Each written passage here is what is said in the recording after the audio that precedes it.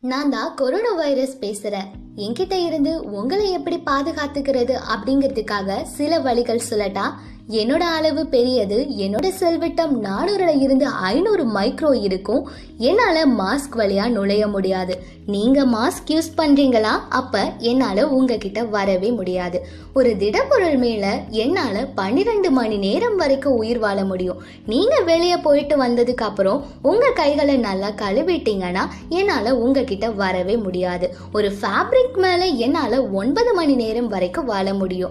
நீங்க உங்க துணிகளை சுத்தமா துவைச்சதுக்கு அப்புறம் சூரிய ஒளியில நல்லா காய வச்சிங்கன்னா என்னால் உங்ககிட்ட வரவே முடியாது. உங்களோட கைகளில் என்னால் பத்து நிமிடங்கள் வரைக்கும் உயிர் வாழ முடியும். நீங்கள் கைகளை சுத்தமாக கழுவுனதுக்கு அப்புறம் சாப்பிட்டீங்கன்னா என்னால் கண்டிப்பாக உங்ககிட்ட வரவே முடியாது. என்னால் காற்றில் பரவ முடியாது. என்னால் வெப்பத்தை தாங்கிக்க முடியாது. வெப்பம் அதிகமாக இருந்துச்சுன்னா நான் அப்போவே இறந்துடுவேன். அதுவும் இருபத்தி ஆறு டிகிரியில இருந்து இருபத்தி ஏழு டிகிரி வரைக்கும் இருக்க வெப்பம் என்னால் தாங்கிக்க முடியாது. குளிர்பானங்கள் எல்லாருமே என்னுடைய நண்பர்கள் தான் நீங்கள் ஐஸ்கிரீம் எல்லாம் சாப்பிட்றீங்களா? அப்ப கண்டிப்பா என்னால உங்ககிட்ட வர முடியும். சுடு தண்ணீர் குடிச்சீங்கன்னா என்னால உங்ககிட்ட வர முடியாது. என்கிட்ட இருந்து உங்களை பாதுகாத்துக்கிறதுக்கான வழிகளையும் நானே சொல்லிட்டேன். இனி உங்களை பாதுகாத்துக்க வேண்டியது உங்களோட கையில் தாங்க இருக்கு.